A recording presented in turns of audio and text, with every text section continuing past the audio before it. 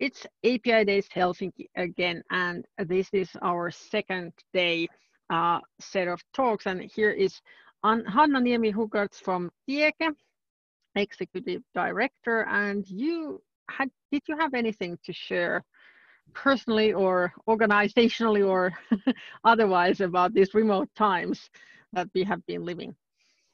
I think for me, I don't know, it's not really a tip, but for me, it's been really a pleasure to kind of really reconnect with, especially our uh, older son, the teenager, and like all of us under the same roof, working mm. sometimes silently, sometimes not so silently here, and and sometimes I mean, it's just been a really, really nice uh, takeaway from this time. I think to be able to because the teenagers are just going about in the in the city nowadays anyway all the time. So finally, they were stuck here with the parents almost all day long. So even if it's just working and doing your own things, it feels like it's kind of reconnecting with him. So that's been the big, biggest yeah. takeaway for me. And you are still talking. Everybody yes, is still talking yes. to each other after that. yeah, I, I can share that. I have a 15 year old son and my husband, and we probably seen each other more now than like for some time before. And it's mm. a good feeling. But hey, um, so from a kind of personal um, Zen situation to a society situation with data and platform economy? Are we ready? I mean, if our teenagers are ready to be stuck at home, then what is the society going to do? Tell us. Yes. So, like like you mentioned, I, I come from uh, Tieke, the Finnish uh, Information Society Development Center. I've been working there since uh, uh, actually December last year, so half a year behind me.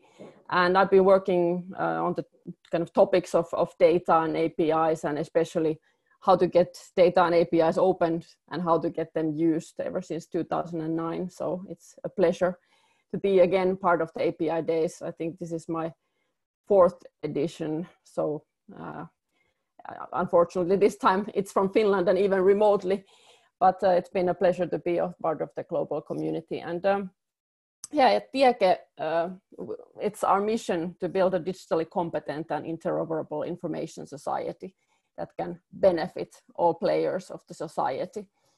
And uh, we've been around since 1981 uh, and uh, we have currently around 50 members so we are a non-profit independent association uh, so 50 member organizations from uh, the private sector to public sectors and kind of bringing in all players of the information society.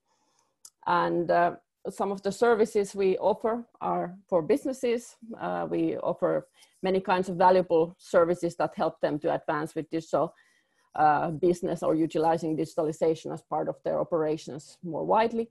And then on the digital skills side, uh, we are really aiming to help everyone navigate the information society, whether it means to they have the skills required to be able to uh, continue working and, and be an active player in that, uh, that part of your life, but then also how to handle the uh, intelligence that is kind of crawling to our homes and, and healthcare systems and so forth. And uh, on this domain of data and APIs, we've been, I mean, I personally have been working quite a long time, but so has Tieke as almost a 40 year old organization. Uh, they've been working a lot on digital procedures in business, especially in logistics and real-time economy, and, and working on different kind of data exchange and, and digital documentations and, and uh, the definitions and documentation for that. Uh, we've worked with open data and open data interfaces in Tieke as well, uh, in, in harbors, for example. So in, in kind of uh, in ecosystems where you have multiple players and it's, it's good to have certain kind of set of agreements of, of the formats and, and standards that you use so that the data data flows and uh, brings efficiency and, and, uh, and benefits for all players in the ecosystem. And uh, some more detailed examples uh, is the e-invoice address register, for example, that is probably familiar uh, any, for, to anybody in Finland who has been billing somebody uh, I mean not somebody but organizations. So it's it's uh, it's the standard for for sending bills between organizations. And actually, I'm very happy to share with you now that this is uh, something that um, we just yesterday signed together with our uh, Swedish partners. Is that this is uh, spreading now also to Sweden.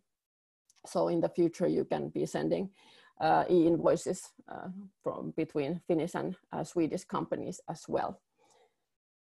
And then on the other hand, we, we organize collaboration forums like the AI and Big Data Finland forum. Uh, we have the uh, messaging service where you can find the standard uh, messaging specifications uh, for fields of logistics, for example. And then we try to help and smoothen the, the digital, uh, utilizing digital technologies and data by offering uh, certain um, standard ICT contract templates, for example. But all these digital uh, technologies uh, are not really uh, worth much if we don't have the necessary skills to, uh, to leverage the technologies. So in Tieke, we are also have been working long time already on uh, things like computers, driver's license, and then advancing to to the kind of uh, examinations for uh, people working with information and, and data.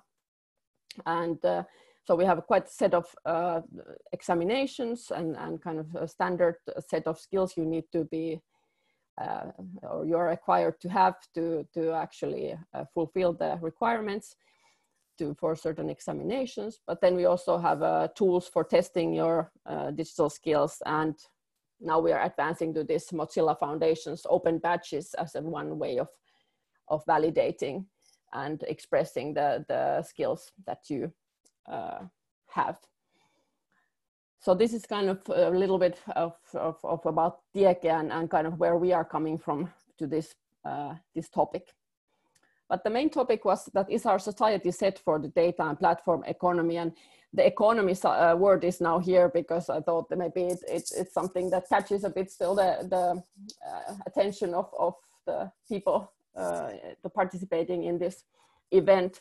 But of course, uh, the, it's at large, we talk about really about the society and the kind of mechanisms that we have when we're interacting with, with between organizations, when uh, collaborating as a, as a citizen in, in your uh, in your cities, uh, decision making processes, and so forth. So more at large, how how well are we leveraging data APIs and platform uh, mechanisms there?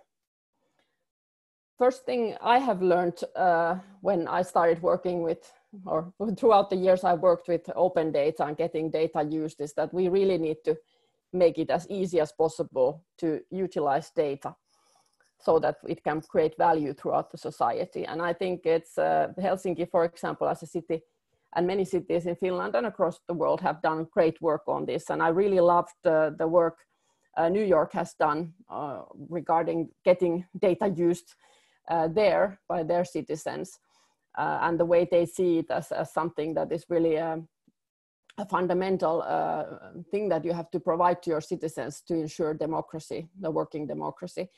And they, in their, the next decade uh, of open data, they really have put focus on improving the user experience of data, not just uh, the, the, the, developers who are very skilled at making this machine readable uh, resource useful, but also uh, that the citizens can better benefit directly from the data and make create meaning out of that. And of course, the, here, even though I now said that you shouldn't only focus on developers, we have a long history in Helsinki when I worked at Forum Virium, which is the innovation company of the city of Helsinki. Uh, and we launched um, the, the developer engagement program, Helsinki Loves Developers, there to actually very much ensure that the open data would get more widely used and that uh, the city would understand better the, the uh, needs of the developer community and what kind of APIs, for example, should be opened and, and in which format and so forth. And then on the other hand, the, the city uh, could get the, the uh, ideas and, and the motivation for opening up data when they would see that there's a demand from the, the data user side. And all these services that you can, for example, find under the Helsinki Region InfoShare uh, data catalog listed, uh, they are one way of making data really valuable when you can find the quickest way to transit from uh, A to B or, or you can follow up the decision making process and, and the documents in the city, for example. And all these services are created by third-party developers. And it's, it's really been great to see how, how big impact these developers can have in the kind of working and functional and, and human-centric city. But many of them, unfortunately, uh, created, many of the apps and services created didn't necessarily have a sustainable business model. And that's why we uh, started uh, engaging companies together, get more uh, businesses to utilize data as part of their services, but also part of their decision making. And here is for those who are interested in the work we did then, uh, some documents. Uh, there's a, uh, one PDF about how the cities can work together with the city, with the businesses towards this open data enabled business. And then on the other hand, we had some brochures about also how to provide interoperable, harmonized, easy to use APIs, or even get started with APIs to begin with in cities. So it's still, uh, even though those are a couple of years old, they are still to many uh, parts very valid documents that I recommend people to check out. One role in, in this society, information society that APIs have is that they can enable interaction. So two-way uh, write APIs also can enable citizens to send their, uh, for example, issue reports about potholes in the streets and so forth, or even uh, send uh, events if they are organizing some events, they can send that kind of information to the city. So I think that's something that APIs can really uh, power in the society at large one part of this uh, engaging citizens is the citizen science and collecting air quality measurements, for example. And that's something that many cities, Helsinki included, have been advancing with. But uh, to advance with, with getting uh, citizen input or even if it's their sensor measurements, uh, there has to be mechanisms in place for giving consent for using that data, whether you want to give consent to the city to use the data or the measurements you've taken, or you want to provide the consent to uh, open it up for anybody to use, or maybe you want to just open it up to your uh, healthcare professional who can then check that how is your asthma situation developing uh, regarding the or how is the air quality impacting the way your asthma asthma is developing for example. And there the gdpr of course uh, sets some very good guidelines to to the consent and the right uh, the rights regarding the data that you have collected. But then also the, the my data approach is something that I'm not going so much in, in detail here, but I think many of you have heard of it. And it's something that we at Tieke very much believe that is a key uh, enabler of the information society that can benefit uh, the society at large. And uh, there it's really, it's about the human-centric approach it uh, provides the cities, uh, the individuals a better control over the data and where it's being used. But then for companies, it provides a mechanism for them to get the consent from the citizens and people and users to, to utilize their data to provide better uh, services to them, better personalized services, for example. And then for society, it can mean uh, mechanisms for providing uh, uh, personal data for research purposes, for example, or even improved public services that are more uh, timely and, and better um, um, serving the citizens. And all this discussion and, and the kind of still lacking technology, well, partly lacking technology, partly lacking, uh, lacking um, mechanisms and, and ecosystems has of course led to a lot of discussion that is this kind of data economy in that sense a bit broken and is the lack of trust too big for us to really advance anymore to this direction of my data? And i think there's some uh, articles that or, or, documents that i really recommend people to read. One is uh, sitras uh, the finnish innovation funds uh, uh, the, the, policy brief on the roadmap for uh, fair data economy.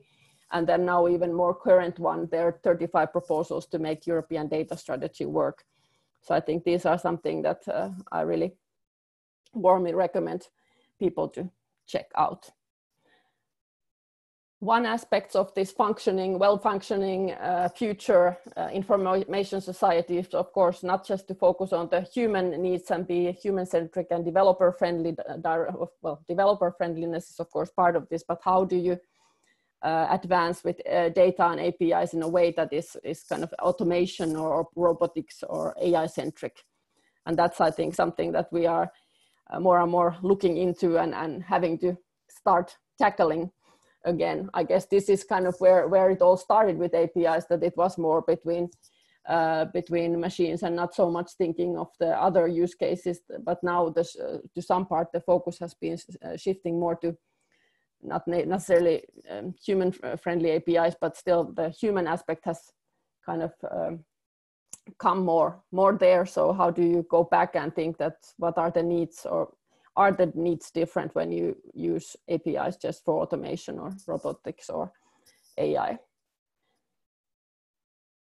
and uh, like I said in the beginning, uh, there's a lot of need maybe for new skills and a new focus on how, how the data can better serve the society and its members, not just uh, the developers, or that we don't always need first the developers to create something that uh, makes the data understandable then for others.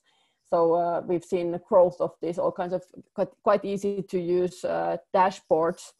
So I worked in, in one project that was aiming for this uh, smart city dashboard that would enable both the citizens and the decision makers and the developers to better utilize the data and have a better situational awareness and, uh, and uh, data uh, driven uh, decision making. But uh, other options are of course Tableau and, and the local data catalog from Turku region has now put um, a lot more effort to also making the data actionable and understandable without technical skills. So I think this is a very uh, important approach of this functioning uh, information society and data and, and uh, platform economy as well. And here we come then to the skills back, which I talked about and what Tieke very much um, works, works and promotes on is to make sure that we have the adequate skills to not just to work but to live and actively participate in, in the information society and we are now currently busy in like looking like how much tweaking and additional uh, examinations for example we need for these these topics of data and, and platform economy as well so that we can ensure that everybody all the players in the picture would understand better the opportunities but also could mitigate the risks of, of this development.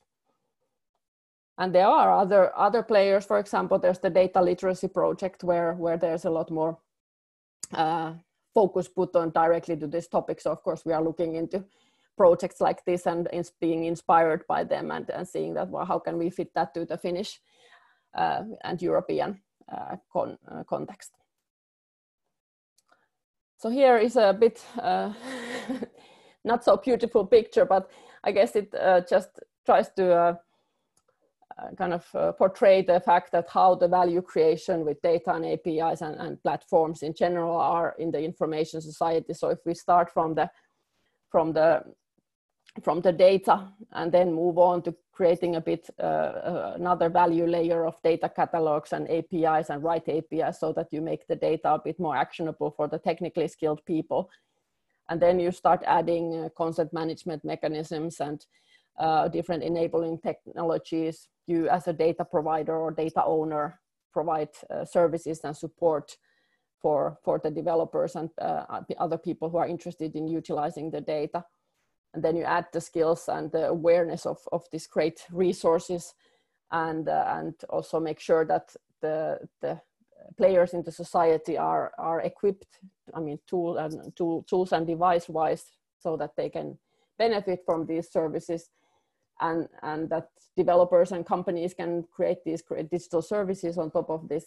And you start seeing uh, the different benefits and impact and innovations such as uh, quality of life through uh, smoother transit options or, or also emission cuts when people can uh, be more aware of their transit op- uh, choices and, and be a bit more uh, kind of well equipped to make decisions about their life and everyday habits when, when they have the data or the services supporting them.